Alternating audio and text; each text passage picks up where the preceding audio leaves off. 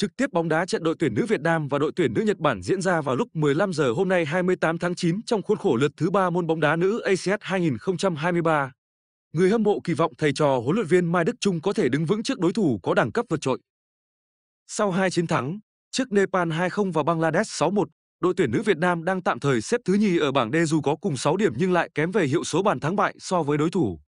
Huấn luyện viên Mai Đức Chung sẽ phải hướng đến một trận hòa nếu muốn cạnh tranh tấm vé vào tứ kết dành cho đội nhì bảng có thành tích tốt nhất. Nguyên do, hiện đang có ít nhất hai đối thủ cạnh tranh với đội tuyển nữ Việt Nam có thể sẽ giành 4 điểm sau khi kết thúc vòng bảng. Cho nên nếu giành một điểm trước đội tuyển nữ Nhật Bản, thầy trò ông Mai Đức Chung sẽ kết thúc với vị trí nhì bảng D khi có 7 điểm. Sau khi trừ đi 3 điểm với đội đứng cuối bảng là một trong hai đội nữ Nepal hoặc nữ Bangladesh, đội tuyển nữ Việt Nam sẽ còn 4 điểm. Điểm số này cao hơn đội đứng nhì ở bảng E nên sẽ nằm trong top 3 đội nhì có thành tích tốt nhất và tiến vào tứ kết. Trong trường hợp thua đội tuyển nữ Nhật Bản, đội tuyển nữ Việt Nam chỉ còn 3 điểm để so sánh với đội đứng nhì của các bảng khác. Khi ấy, thầy trò ông Mai Đức Trung sẽ phải nhìn vào kết quả các bảng mới biết có giành quyền đi tiếp hay không. Rõ ràng, đội tuyển nữ Việt Nam sẽ phải tự quyết định số phận của mình trong cuộc đối đầu với đội tuyển nữ Nhật Bản. Mục tiêu có một điểm trước đại nương của bóng đá châu Á không hề dễ dàng chút nào dù đội tuyển nữ Nhật Bản không mang đến ASEAN 2023 đội hình mạnh nhất. Dù vậy, những người còn lại cũng giúp họ trở thành ứng viên nặng ký cho tấm huy chương vàng tại Á vận hội năm nay. Đội tuyển nữ Nhật Bản thể hiện phong độ hủy diệt khi lần lượt thắng Bangladesh và Nepal cùng với tỷ số 8-0. Lần gần nhất đội tuyển nữ Việt Nam và đội tuyển nữ Nhật Bản đụng độ nhau là ngày 24 tháng 1 năm 2022 tại ASEAN Cup. Đội tuyển nữ Việt Nam khi đó thất bại với tỷ số 0-3. Lần gần đây, đội tuyển nữ Việt Nam chọc thủng lưới đội tuyển nữ Nhật Bản trong trận thua 1-6 là tại vòng loại Olympic hồi năm 2016. Đáng chú ý, trong hầu hết các trận đối đầu với đội tuyển nữ Nhật Bản, chúng ta thường để thua 3 bàn trở lên. Rõ ràng, những chỉ số đối đầu trong quá khứ đang không ủng hộ thầy trò huấn luyện viên Mai Đức Chung. Thế nhưng, nếu nhìn từ màn thể hiện tại World Cup nữ 2023, đội tuyển nữ Việt Nam hoàn toàn có quyền nghĩ đến một điều tốt đẹp khi đối đầu đội tuyển nữ Nhật Bản. Đôi bên đều có được đội hình tốt nhất trong trận đầu vào chiều ngày mai.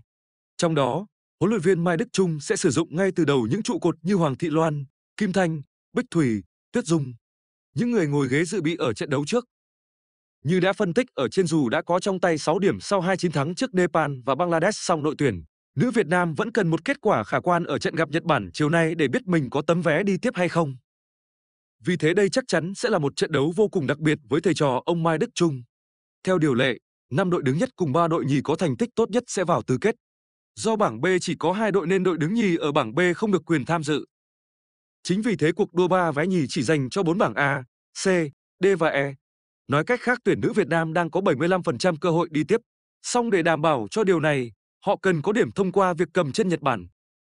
Đội tuyển nữ Nhật Bản được đánh giá cao hơn Việt Nam nhưng tại ASEAN lần này, họ không có được sự phục vụ của những cầu thủ giỏi nhất. Thay vào đó lực lượng mà đội nữ Nhật Bản mang đến ASEAN 19 chủ yếu là nhóm cầu thủ sinh năm 2004 trở lại. Thế hệ này được họ ươm mầm cho các sự kiện lớn trong tương lai gồm cả ASEAN Cup 2026. Điều đáng chú ý là trong số các cầu thủ đăng ký cho Á vận hội, chỉ có một cầu thủ tham dự World Cup nữ 2023 và người này cũng chỉ thường xuyên đá dự bị.